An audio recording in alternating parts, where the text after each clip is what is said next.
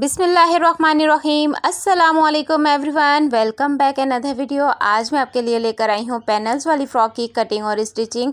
और ये फ़्रॉक मैं बना रही हूँ चार से पाँच साल की बच्ची के लिए। आपने वीडियो को स्किप बिल्कुल भी नहीं करना। वीडियो को फुल वॉच कीजिएगा। स्टेप बाय स्टेप मैं आपको इसकी कटिंग और स्टिचिंग सिखाऊँगी। तो चलें जी, आज की वीडियो स्टार्ट करते हैं।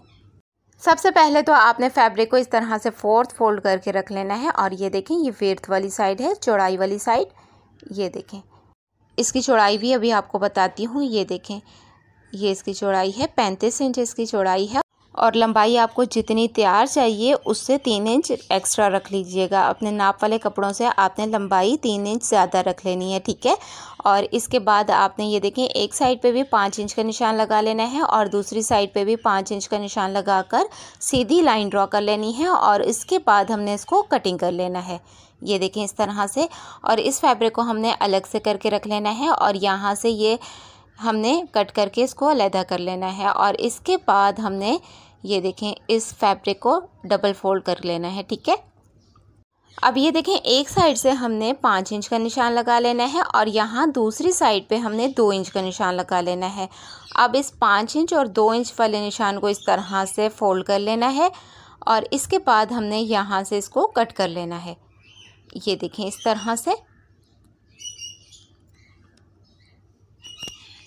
अब इसके बाद हमने इस फैब्रिक को इस तरह से सेट करके रख लेना है और ये कटी हुई पैनल्स को हमने यहाँ इसके ऊपर इस तरह से सेट करके रखना है और दोबारा से हमने इसको कट कर लेना है। ये देखें इस तरह से।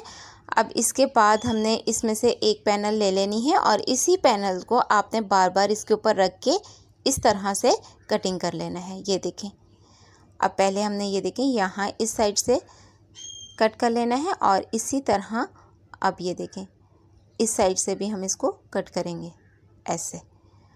और दोबारा से अब ये देखें, इसको इस तरह से सेट कर लेंगे।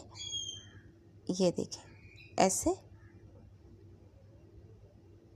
ये देखें, अब इसके बाद अब दोबारा से हमने इसको इस तरह से सेट करके रखना है और ऐसे कट कर लेना है। और ये देखें, अब इसको हमने इसके ऊपर इस तरह से रखना है। ये देखें, ये हमारी पैनल्स कटिंग हो गई हैं।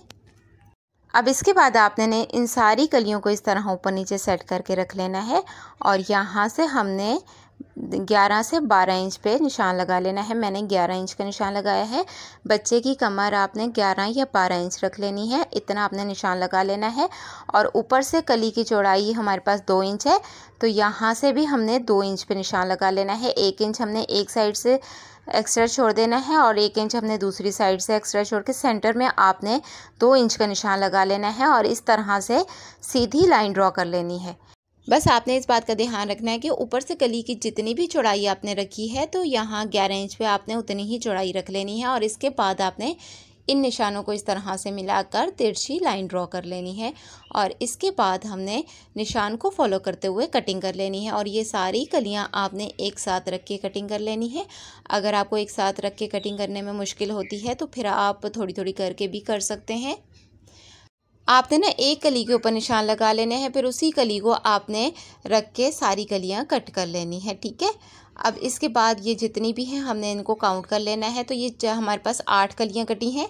तो ये आठ कलियाँ मतलब चार हमारे पास फ्रंट की हो जाएँगी और चार हमारे पास बैक की हैं। ये देखें, इस तरह से मैं आपको ना चार चार कलियाँ रख के दिखाती हूँ। ये चार हमारी फ्रंट साइड की हैं और चार हमारे पास बैक साइड की होंगी, ठीक है? और इनको हम इस तरह से रख के स्टिच करेंगे। ये देखें, यहाँ से हम इसको सिलाई करेंगे और इसके साथ फिर हम एक के साथ एक को रख के स्टिच कर लेंगे, ठीक है? चार चार हमारी ये कलियाँ हो गई और सबसे पहले हमने ये जो पाँच इंच का फैब्रिक कट किया था ना, इस फैब्रिक को हमने एक साइड से इस तरह तिरछा कट कर लेना है, ठीक है? और ये हमारे पास चार पीस हैं। ये देखें, इस तरह से आपने एक साइड से इसको तिरछा कट कर लेना है, आपने तिरछा याद से कट करना है और यहाँ से इसको कट करके अलग कर लेंगे। ये देखें, इस तरह से अब ये जो चार पीस हमने कट किए हैं, दो फ्रंट साइड पे स्टिच होंगे और दो बैक साइड पे, ठीक है? अभी आपको ना स्टिच करके दिखाती हूँ। ये देखें, चार पैनल मैंने स्टिच कर ली हैं और इसके बाद आपने ये देखें, ये जो अभी हमने ना चार पीस कट किए हैं, इनको हमने यहाँ पे स्टिच कर लेना है। एक ये देखें, अब मैंने स्टिच करके इसको आयरन कर लिया है।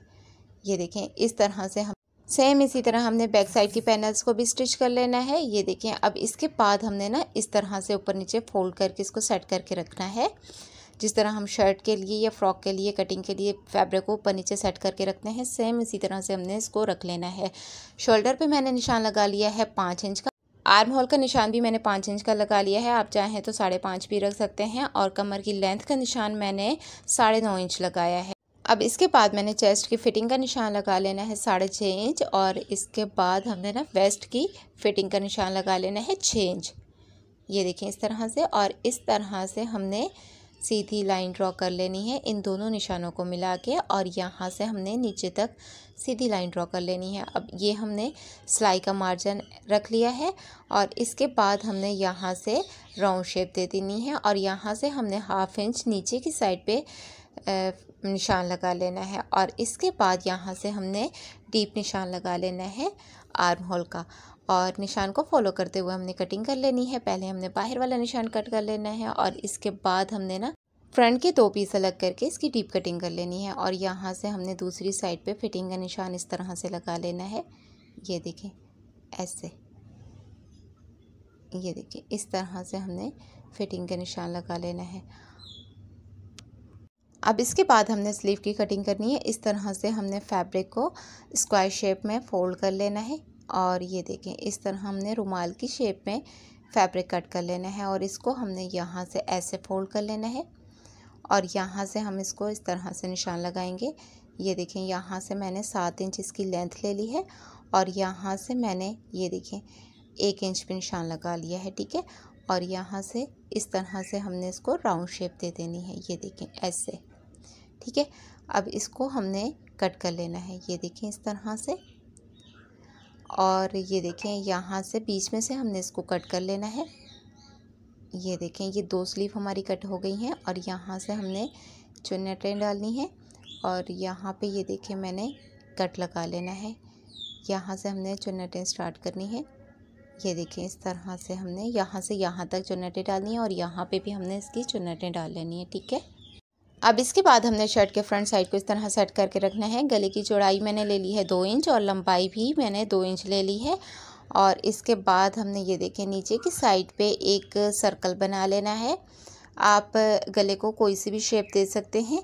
अब इसके बाद ये देखें, एक फैब्रिक मैंने इस तरह से लेकर इसके नीचे सेट करके रखना है और यहाँ से मैंने निशान को फॉलो करके कटिंग कर लेना है। ये देखें, ऐसे। ये देखें बाहर की साइड से हमने इसको इस तरह राउंड शेप में कट कर लेना है। अब इसके बाद ना हम इसको स्टिच करेंगे। ये देखें इसको हमने इस तरह इसके ऊपर सेट करके रखना है और इसको ऐसे हमें स्टिच कर लेंगे। और इसी तरह अब हम बैक नेक की कटिंग करेंगे। दो इंच मैंने गले की चौड़ाई ली है और डेढ़ इंच मैंने गले की लंबाई ली है और बीच में से हमने इस तरह से फैब्रिक को कट कर लेना है, ठीक है? ये देखें इस तरह से अब इसके बाद हम गला स्टिच करेंगे। ये जो अभी हमने गले की पट्टी कटिंग की है ना, इसको हमने इस तरह से रख के स्टिच कर लेना है। अच्छा यहाँ पे अगर आप चाहें तो इन कलियों के अंदर जॉइंट लेस भी लगा सकते हैं और अगर आप जिक्जैक लेस लगाना चाहें तो वो भी लगा सकते हैं। और इसके अलावा अगर आप शटल लेस लगाना चाहें तो कलियों पर आप वो भी लगा सकते हैं। और ये देखें, ये स्टिच करने के बाद हमने इसके अंदर इस तरह से डीप कट लगाने हैं। बिगनर्स, इस बात का ध्यान रखें कि डीप कट लगाने बहुत ज़रूरी हैं। अगर आपने डीप कट नहीं लगाए तो आपका ये नेक अच्छे से फोल्ड नहीं होगा। और इसके बाद हमने ना इसको आयरन कर लेना है और यहाँ से हमने इसे फोल्ड करके तुरपाई कर लेना है। और सेम इसी तरह हमने बैक नेक को भी स्टिच कर लेना है। बैक नेक के नीचे हमने एक्स्ट्रा फैब्रिक रख लेना है और ये जिस शेप में हमने कटिंग किया है, इसी शेप में हमने इसको सिलाई कर लेना है। और यहाँ कॉर्नर पर आपने निडल को फैब्रिक के अंदर रख के फिर आपने फैब्रिक को टर्न करना है। यहाँ पे जो भी कॉर्नर आएगा, आपने निडल को फैब्रिक के अंदर रख के फिर आपने फैब्रिक को टर्न करना है और इसके बाद आपने अंदर से एक्स्ट्रा फैब्रिक कट कर लेना है और बैक साइड से भी आपने एक्स्ट्रा फैब्रिक कट कर लेना है। और कोई भी नोकदार चीज़ लेके आपने इसके कॉर्नर अच्छे से सेट कर लेने हैं। अब इसके बाद आपने फ्रंट और बैक साइड के शोल्डर को इस तरह से सेट करके रखना है और यहाँ से हम इसको इस तरह से स्टिच कर लेंगे। ये देखें, ऐसे।